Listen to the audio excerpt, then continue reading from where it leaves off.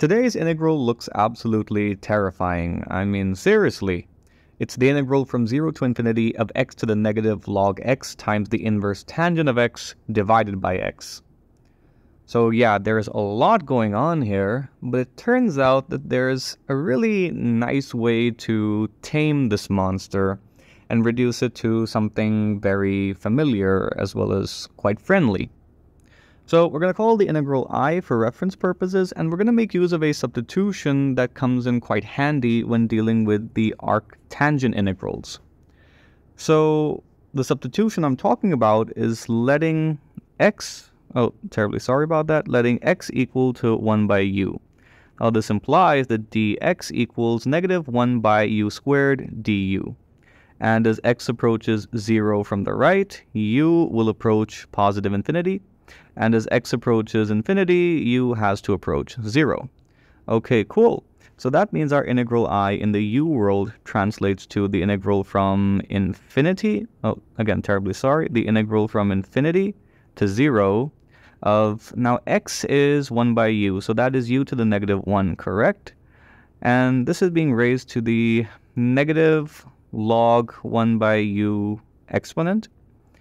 And we have to multiply all of the stuff by the inverse tangent of 1 by u and divide all of this by 1 by u and the differential element translated to negative 1 by u squared du.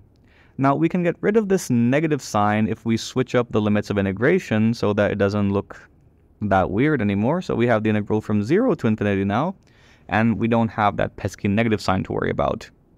Now look closely here. You have negative log 1 by u. And using the properties of the logarithm, we know that if we reciprocate the argument, we introduce an extra negative sign. So the two negative signs will cancel out, and you'll have log x, uh, log u as the exponent, and you have u to the negative 1 to the log u. So you can write all of this more in a more compact sense as u to the negative log u. And one of the u's cancelled out over here as well pretty nicely. So finally, we can write our integral i as the integral from 0 to infinity of u to the negative log u times the inverse tangent of 1 by u divided by u du. Okay, cool. So because u and x are just dummy variables, we can rename all the u's back to x's, and notice that there is a very similar structure here between the integral we started off with and the integral we have right now. It's x to the negative log x times the inverse tangent of 1 by x divided by x dx. So I've written out both structures for the integral i for comparison purposes.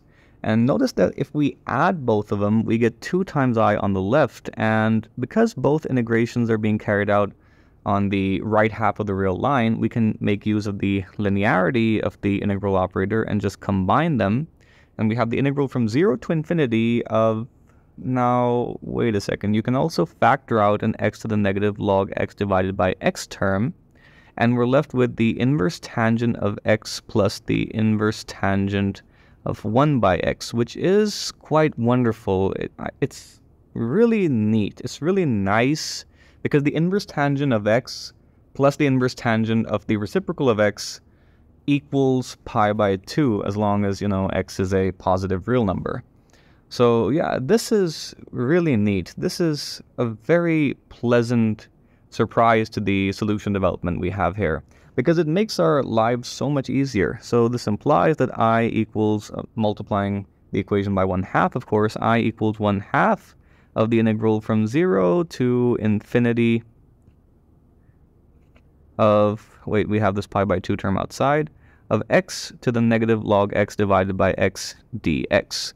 And now the substitution to perform is pretty much clear as day.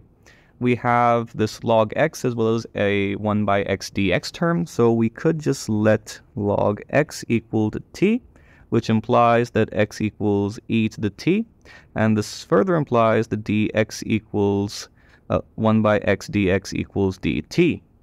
So this implies that i in the t world is the is wait it's pi by 4 times the integral from where to where exactly? Well, as x approaches 0, t will approach negative infinity. So we have the integral from negative to positive infinity of e to the t uh, to the negative log x. And negative log x is just negative t, right? And this 1 by x dx becomes the differential element. So we're left with pi by 4 times the integral from negative to positive infinity of e to the negative t squared dt. And this is the good old Gaussian boy, which I've never really evaluated here on the channel using the traditional technique. And by traditional technique, I mean, you know, switching the polar coordinates and all that. I've evaluated using Feynman's trick, and that was a pretty wild ride.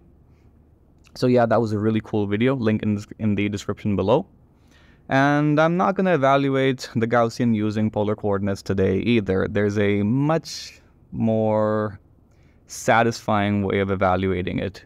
And it starts off by letting t squared equal to some new variable, let's call it z for a change.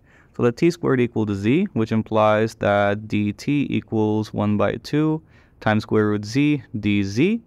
And this implies that i equals, wait a second, one thing we should have done before the transformation was note that because we're integrating an even function of t, instead of integrating from negative to positive infinity, we could just integrate from 0 to infinity and double the result. So we have pi by 2 being multiplied by our Gaussian boy here.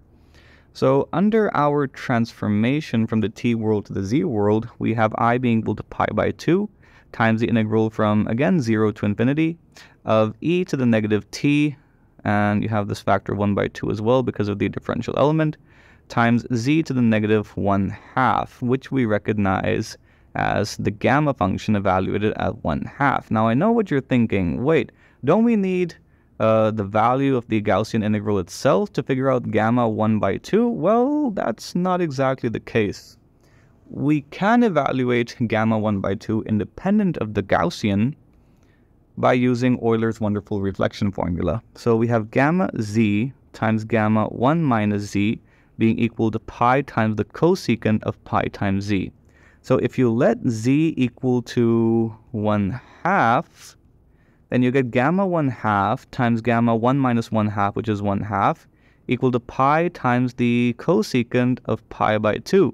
And the cosecant of pi by 2 is just 1. So this implies that the square of the gamma function evaluated at 1 half equals pi, which implies that gamma 1 half equals the square root of pi.